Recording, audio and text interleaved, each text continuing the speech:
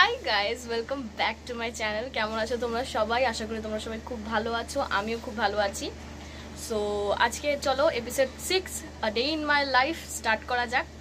আজকে হচ্ছে সানডে আর এখন বাজে ঘড়িতে অলমোস্ট দশটা বাজতে যায়। আমি কিন্তু উঠেছি আটটার সময়। আমি উঠে ডিটক্স ড্রিঙ্ক আমার খেয়ে নিয়েছি, যেটা ওয়ার্ম লেমন ওয়াটার তার সাথে একটু হানি মিক্স করে। তো ওটা খেয়ে এখন একটুখানি আমার নিজের ব্রেকফাস্ট আমি প্রিপেয়ার করছি। আজকে রুটি খাব জাস্ট একটুখানি ডিম ভুজিয়া বানাচ্ছি নিজের জন্য, আর কালকের একটা তরকারি আছে তো ওটা দিয়ে হয়ে যাবে ব্রেকফাস্ট আর এমনি তো আমি তো তোমাদের সাথে ইচ অ্যান্ড এভরিথিং শেয়ার করি, তো তোমরা তো দেখতেই পাবে। আর আজকের স্পেশালিটি হচ্ছে ব্লগের যে আজকে আমি আমার কম্পিউটারের যে বন্ধুরা আছে, তাদের সাথে মিট করতে যাব, দেখা করব মানে একটু আড্ডা হবে, মজা হবে খাওয়া দাওয়া হবে। সো সেটা সন্ধেবেলা হবে, তো সেই জন্য কিন্তু পুরো দিনের ব্লগটা তোমাদেরকে না স্কিপ করে দেখতে হবে।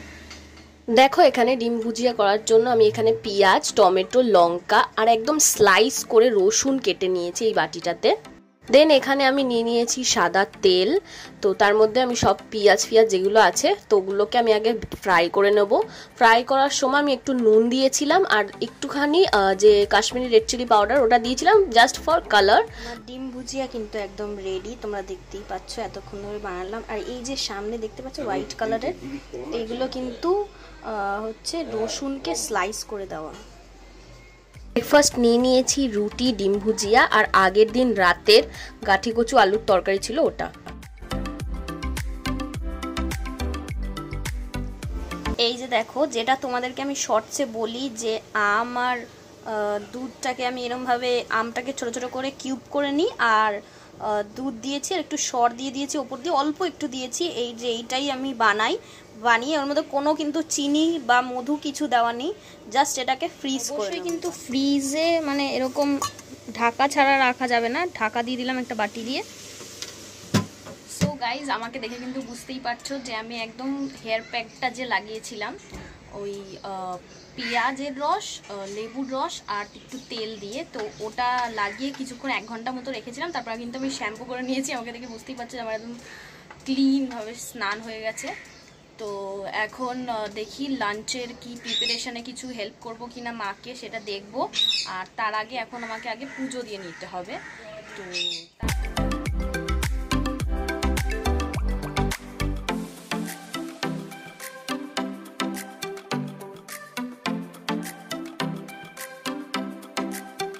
লাঞ্চে দেখো নিয়ে নিয়েছি যে মাছের ডিমের বড়া করে যে তরকারি হয়, ওই তরকারি আর এই যে এখানে একটা মাছের মুড়ো আছে, তো সেটার একটা ছোট একটা তরকারি। সো আমার ডিম দিয়ে বানানো যে তরকারিটা, ওটা বেশি ভালো লেগেছে। দেন খাওয়া দাওয়ার পর টিভিতে চলছিল পিকে মুভিটা মানে যেটা আমির খানের পিকে মুভি। তো ওটা দেখতে দেখতে আমি যে আমটাকে যে ফ্রিজ করি, তো সেটা বার করে আমি খেয়ে নিলাম। আমি কিন্তু লাঞ্চ করে একটু রেস্ট নিলাম, তারপরে এই যে রেডি হয়ে গেছি, দেখো। একটা টি শার্ট পরেছি, তো ফুললি রেডি হয়ে গেছি। খুবই গরম, তাই জন্য যে কোনো অন্য কিছু পরতে পারলাম না। জাস্ট এই টি শার্টটা আমি আজিও থেকে নিয়েছি। যারা আমার শর্টস ফলো করো মিনি ব্লগ তারা জানবে যে আমি টি শার্টটা নিয়েছি। যাই হোক, তো এটার সাথে আরেকটা পিসও নিয়েছিলাম, তো ওটা আছে। যাই হোক, এসব বেকার কথা থাক, এখন আমি বেরোচ্ছি আমার ফ্রেন্ডসদের সাথে মিট করতে। তো ওরা ওদের একজনকে ফোন করলাম, একজন তুলছে না, আর একজন বলল যে বেরোবে। তো ওরা মোটামুটি কাছাকাছি থাকে, আমরা যেখানে যাচ্ছি তার কাছাকাছি থাকে বাট আমি একটু দূরে থাকি যে কারণে, আর আমি হেঁটেই যাব ভাবছি।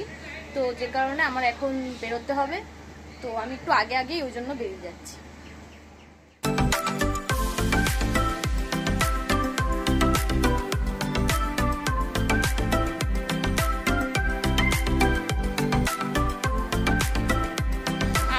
চলে এসেছি অ্যাক্রোপলিস মলে মানে দেখতেই পাচ্ছি এই যে এরা দুজন চলে এসছে। আর একজনেরও আসার কথা বাট সে এখনও আসেনি। তার অনেকটা লেট হবে আসতে। তো এখন ভাবছি মলের ভেতরে ঢুকবো একটু ঘুরবো তারপরে আবার বাইরে এসে দেখি কি করা যায়। সবাই একটু হাই বলে দাও সুন্দর আমাকে তো দেখাই যায় না এদের পাশে।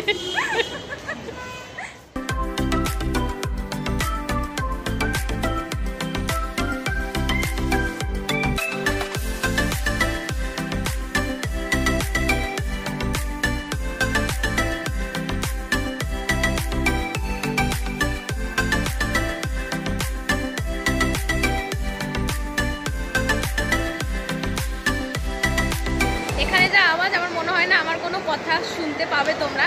তাও বলছি এখন আমরা অ্যাক্রোপলিক্সে খালি গোল গোল করে ঘুরে যাচ্ছি। আর হচ্ছে আর ছবি তোলার সেশন হয়ে গেছে মানে আমি এত ডিস্টার্ব করে আমি জানি আমি ডিস্টার্ব করি কিন্তু কি করব? মানে আমার একটা ছবি তো পোষাই না ঠিক মতো এ আমাকে অনেকগুলো ছবি তুলে দিয়েছে আমার পোষায়নি আমি আবার এর থেকে তুলেছি। মা এটা কে যাচ্ছে? তো যাই হোক তো এখন রিনিতা বলছে কি ওপরে ফুড ফুডকোর্টে গিয়ে মানে কি বসবে? কোথায়? কোন কোথায় একটা নিয়ে বসার জন্য আমি কিন্তু অ্যাক্রোপলিসের কাছে মানে অ্যাক্রোপলিসের চারপাশ দিন ঘোরাফেরা করি কিন্তু জানি না যে ও কোথায় বসার কথা বলছে। আমি জানি না দেখি নিয়ে যাচ্ছে কোথায় চলো দেখি।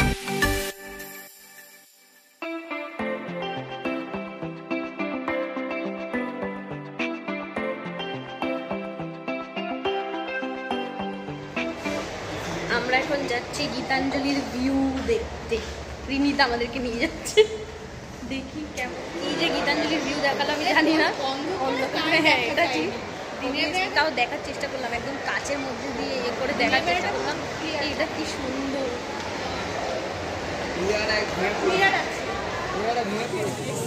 তো আমরা কিন্তু অ্যাক্রোপলিস দিয়ে বেরিয়ে এসেছি। বেরোনোর সময় কিন্তু খুব মানে বৃষ্টি হচ্ছিল। তো এখন আমরা এসেছি অ্যাক্রোপলিসের অপোজিটের রাস্তায় যে ফুড স্টলগুলো বসে তো ওখানে এসেছি জাস্ট কিছু খাওয়া দাওয়া করব। প্রথমেই খেয়ে নিচ্ছি হচ্ছে মোমো। অর্ডার করেছি, এখন ওয়েট করছি আমরা, এই যে তিনজনে তো মোমোটা ফার্স্টে আমরা একটা প্লেট অর্ডার করলাম ট্রাই করে দেখতে চাইছিলাম কোয়ালিটিটা কেমন। সত্যি কথা বলতে লোক মানে দোকানদারের ব্যবহারটা তেমন একটা ভালো ছিল না, তার থেকেও খারাপ ছিল হচ্ছে মোমোগুলো খেতে। যে কারণে আমরা আর ওখান থেকে খেলাম না। আর আমি তো জাস্ট একটা ট্রাই করেছিলাম, কারণ আমি বাইরের খাবার তেমন একটা খাচ্ছি না স্পেশালি মোমো। তো যে কারণে আমি আর খেলাম না। তারপরে আমরা যে শেক হয় ওরিও শেক কিটক্যাট শেক এগুলো খেয়েছিলাম, তো ওগুলো শ্যুট করিনি। বাড়ি এসে এই ডিনার নিয়েছি একটা রুটি সব তরকারি মেসিভাবে নিয়েই খেয়ে নিয়েছি, কারণ আমার খুব ঘুম পেয়ে গেছিল। হাই গাইস গুড মর্নিং এটা হচ্ছে প্রায় বলতে গেলে আমার ব্লগ শ্যুট মানে যেই ব্লগটা তোমরা দেখছ মানে এতক্ষণ দেখছিলে, সেটা কিন্তু দু তিন দিন পরে আমি আউটরো শ্যুট করছি। খুবই লজ্জাজনক ব্যাপার। মানে আমার যেদিনকে ব্লগ মানে অ্যাটলিস্ট পরের দিন সকালে এন্ড করা যায় বাট আমি দুদিন পরে এন্ড করছি, কারণ আমি একদম ভুলেই গেছিলাম যে আমি একদম আউটরোটা শ্যুটই করিনি। তো ব্লগটা মানে এডিট করতে করতে আমার মনে পড়েছে যে, ও আউটরো তো শ্যুট করা হয়নি। সো যাই হোক, এখনই আমি আউটরো শ্যুট করে নিচ্ছি। কিছু মাইন্ড করো না, যেহেতু আমি তোমাদের সাথে অনেস্টলি সব কিছু শেয়ার করি সো এটাও আমি শেয়ার করলাম। এরকম ব্লগস দেখার জন্য আর আমাকে যদি তোমাদের ভালো লেগে থাকে, যারা এখনও সাবস্ক্রাইব করোনি, তারা আমার চ্যানেলটাকে এক্ষুনি সাবস্ক্রাইব করো গাইজ আর মনে করে বেল আইকনটাকে ক্লিক করো, কারণ যখন যখন আমি ভিডিওস আপলোড করব, তোমাদের কাছে ফার্স্ট নোটিফিকেশন চলে যাবে। সো খুব তাড়াতাড়ি আমি আবার আরও কিছু নতুন ব্লগ ইয়া ইম্পর্টেন্ট ভিডিও নিয়ে আসতে চলেছি। So till then, take care. Bye, guys. Love you all.